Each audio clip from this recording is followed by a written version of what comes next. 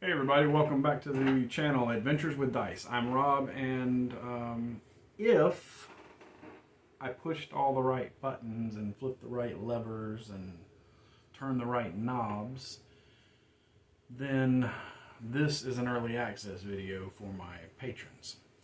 To which, if you were seeing it on my normal channel, then they saw it a, a, about a week ago. And then a week later, it, it goes live because uh, some of the patrons have um, have it at the level where they get early access videos. So uh, I'm hoping that I'm, I'm, doing this is the first time doing it, so this, I'm hoping that I did that right. So we'll we'll, we'll see when I get done putting everything up. We'll see what happens.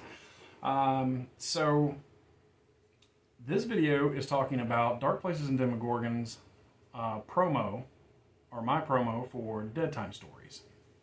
And Deadtime Stories is a three part anthology uh, of adventures that I am writing for Dark Places and Demogorgons, not for the not for Bloat Games. I'm not writing it for them. Like I have the uh, third party license, and uh, I'm I'm putting out adventures compatible with Dark Places and Demogorgons. So let me be clear about that. I'm not hired by Bloat Games to do any writing or anything like that. I simply have the uh, third party license and all the uh, legal stuff that goes along with it to put these adventures into PDF and put them out. Now, these adventures um, will be available through my Patreon um, and maybe eventually on Drive Through DriveThruRPG. I don't know. We got. I'll just have to see how that works out. Um, I, I, plan to do more of these. This is just volume one of it, and it'll be a three-part anthology, like I said. Um, it is using the core book for Dark Places and Demogorgons, this one or the blue cover. Uh, it also, I don't, it's not required, but I recommend the Jeffersontown setting guide and the class compendium uh, are both very useful. But at the end of the day, you could get away with just the core book. Uh, I also provide a ton of information in the uh, scenarios. Now, what I'm doing with these scenarios is I am I, have written the first two. Uh, they are complete in my notes, and then I have the third one I'm about halfway done with. And when I say notes, I'll show you what I mean in just a minute. These are notes that I could run a game by because I know what I was thinking when I jotted stuff down. And uh, I'm going to run these throughout October for my group and uh, get a chance to see how they play um, with actual players and see if there's any uh, glaring plot holes or whatever because my, my players will absolutely find them and exploit them. Uh, I have total faith in them to do that. So I'm going to run these adventures for them. Plus, we always run uh, kind of holiday horror stuff around here starting in October. And uh, normally Haley takes over and runs and I play, but this year because I'm writing this anthology, I wanted to run it for the group uh, before putting everything in PDF and putting it out there to the internet. So that's that's what I'm going to do. I'm going to run all three of them. Uh, the way I'm writing them, they effectively should be able, each one should be a one shot that you could do in one night. My party won't do that. My players won't do that because we spend a lot of time goofing off, talking, uh, and I know that annoys some people, um, but it's fine for our group because we're all a bunch of friends that have been playing together for years and years. And uh, game night is as much a social event for us as it is about the game. It's more a social event where the game kind of happens around it. Uh, I have pulled out a few extra trips and triggers for my group. These are not going to be required and or necessary to play the adventures that I'm putting out. Um, for instance, uh, if you're on my Patreon uh, or maybe Rob's Game Group, I may post it there too. You can see behind me right here. That's huge. It because it's it's like I don't know, all the way to the floor. I, I did a I hand drew a huge uh, Jeffersontown map uh, from the back of the book, the uh, Jeffersontown setting book. And um, I have everything labeled out on it and whatnot. And that is because during the game, we're going to be using figures, but we're not using them for combat. Uh, combat is still theater of the mind in this game to me. Uh, it's just not tactical, in my opinion. It's like, you know, Call of Cthulhu is not a very tactical game for the most part. Uh, and, and it's just the way I run it. I run my combats very um, mind's eye theater when it comes to this game or Call of Cthulhu, which is completely, you know, opposite when it comes to like fantasy, uh, DCC, basic fantasy stuff like that. I use lots of miniatures and terrain and things like that.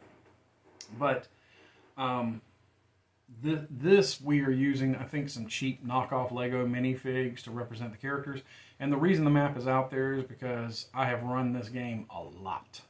And uh, one of the things that always happens, because I try to give them time in the beginning of the game to kind of explore in the 80s around town, you know, excuse me, what they're doing. And uh, having the little minifig for their character allows me to put, you know, they can put their character, okay, well, I'm at the mall. All right, well, I'm over at these apartments, or I'm over at the graveyard or the church or whatever. And we just have a visual, visual representation of where the character is uh, until they get to a point where they need to get together. And if something happens, we know, okay, well, uh, something happened to this character, but there were no other characters near them because you guys were all over here. So nobody saw it but this character. And that's really all it's for. It's just a visual aid that I like to use at the table, and I think it's going to be uh, a lot of fun.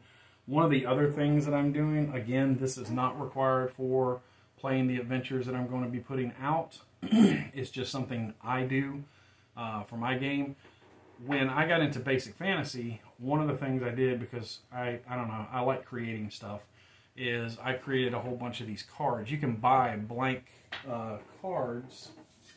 It's like a deck of 120 blank playing cards, and you can get them off Amazon for like I don't know five or six bucks, something like that. But I got a bunch of these cards, and for basic fantasy, I put things on like you know plus one dagger, you know, and they're all hand drawn, and you know plus one battle axe, things like that, wand of paralyzation, and how many charges it has. And a lot of times I'll hand these out when I'm handing out treasure. And it doesn't change the mechanics of the game at all. It doesn't change anything. It just gives me a tactile thing to put out on the table and hand to a player. And I find that players generally like that. So uh, I'm doing a set of these for Dark Places and Demogorgons. Um, and it's going to include a whole lot of things. You know, skateboards, baseball bats, leather jackets. Uh, it's also going to include you know things that may be specific to the adventures that they're playing. You know, a, you know dusty old book about magic or whatever. And I'm going to have them sleeved just like that and be able to hand them out to the players. But again, you don't need to do that to play the adventures. This is just me talking about some of the stuff that I do. Now, um, everybody has heard me on this channel talk about my, my, my Game Master's Journal and the stuff I keep in here, and I need to do some videos showing off what's in here, uh, just because people are interested in that, I guess. The one game that I don't put in my journal is Dark Places and Demogorgons.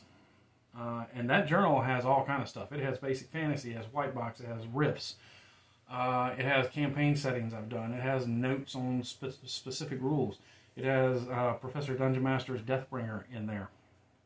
Um, but when it comes to Dark Places and Demogorgons, I love this game so much. I, it's not just the game. I do love the game.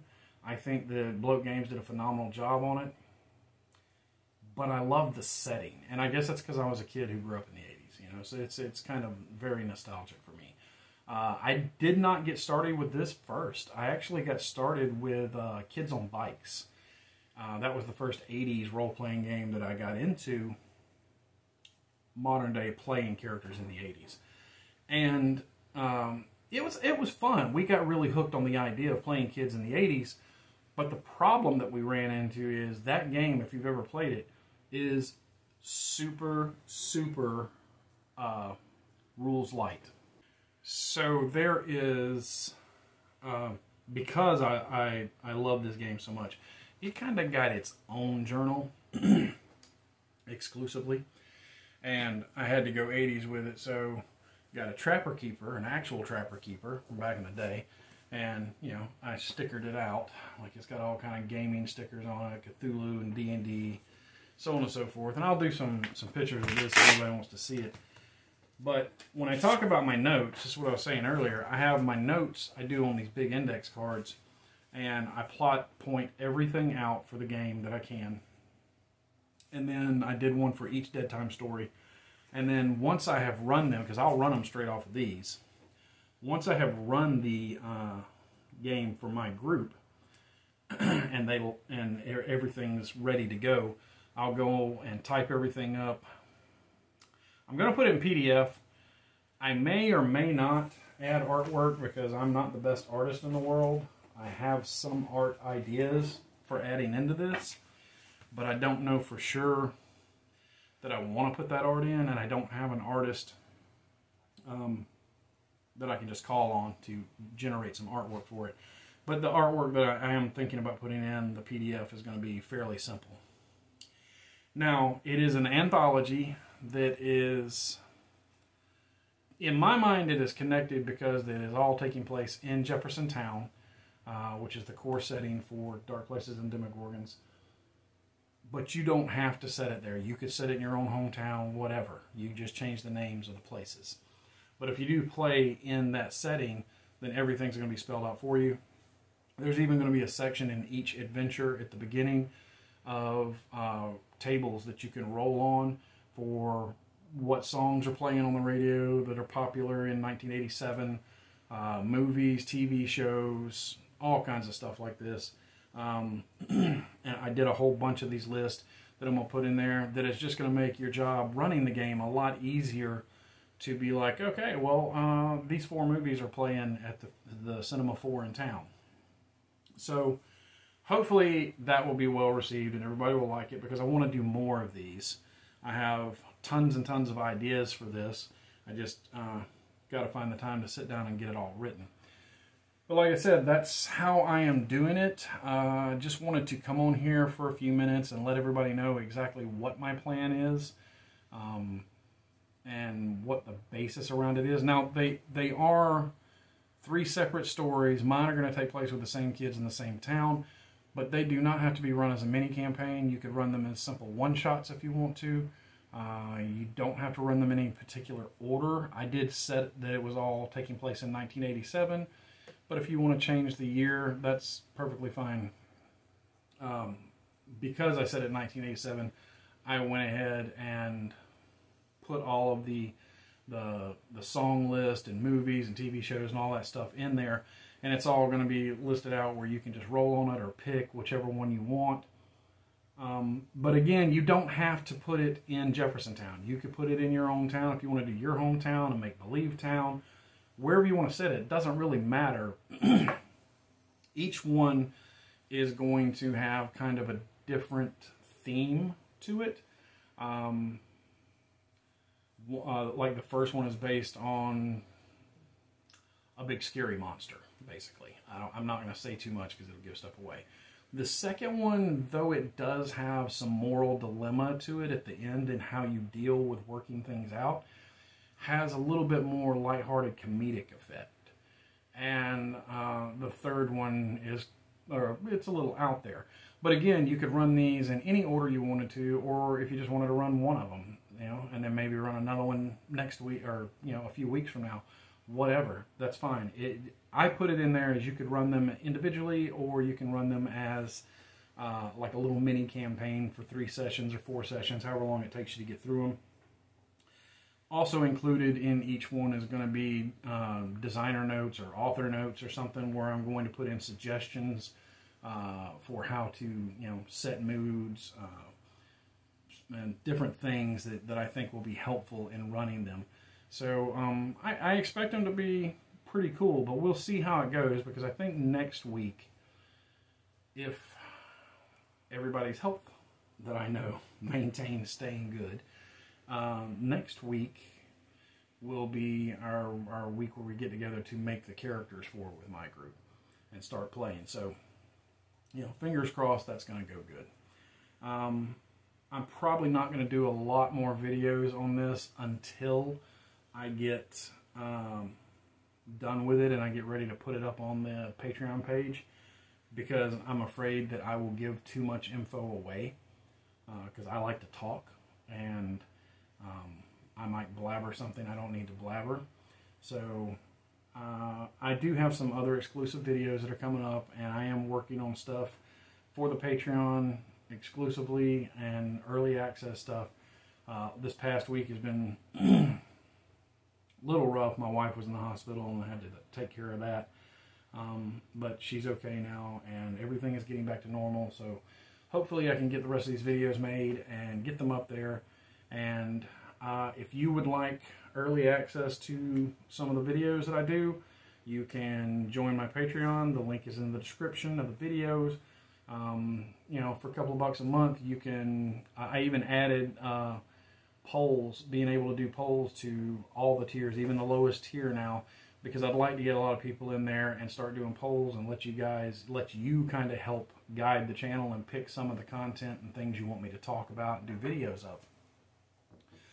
So uh, that did get added to even the lowest tier, but if you're interested in helping support the channel, that's probably the best way is join our Patreon. Again, link is in the description and you get early access to some of the videos too. And if uh, some some of the patrons will be getting exclusive videos that are only for patrons. So well, we'll see how that goes too. But that's pretty much all I've got for this episode. Um, I just wanted to talk about the fact that I'm doing these three adventures. I, I, alluded to it and talked a little bit about it on Facebook, but I hadn't really gone into detail with anybody outside of my game group and Eric over at Bloat Games, who has been phenomenal to deal with because I, you know, I got the the legal packet from him, and I had a bunch of questions, and he has just been very, very. There you go. Yeah, you can use this. You can use that. He's been very helpful, very awesome. Uh, just like every time I've, I've, dealt with him, he's been great. So that's all I got for right now. I uh, hope you enjoyed this. And until next time, my friends, good gaming and good luck.